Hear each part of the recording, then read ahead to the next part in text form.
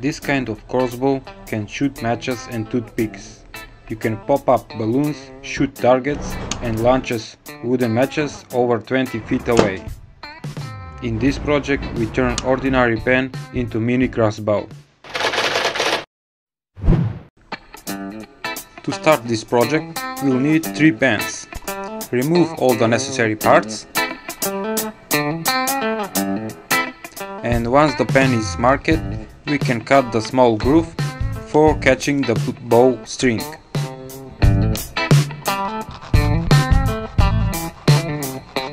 It should look like this. Marking the pen, where should we making the gap for placing the bow on the top of the pen.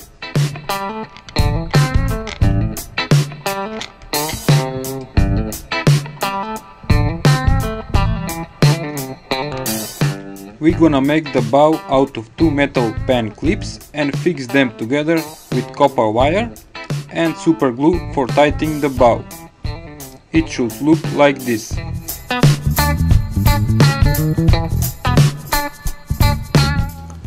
Now we're gonna place the bow on the top of the pen where the gap is made and we're gonna add some super glue to be tight. The bowstring also is glued with super glue and now we test the bowstring.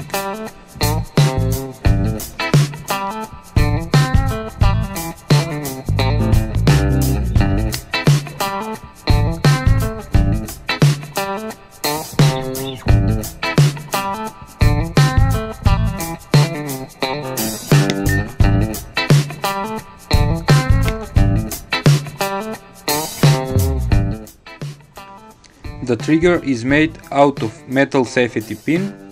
It's very simple design and works every time.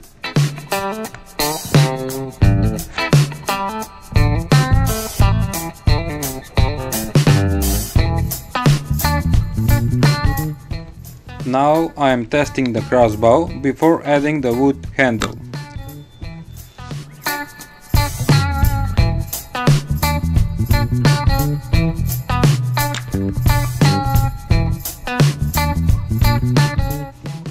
Handle is small piece of wood that is fixed with glue and leave couple of minutes to dry and the mini crossbow is finished. Now we can shoot some targets.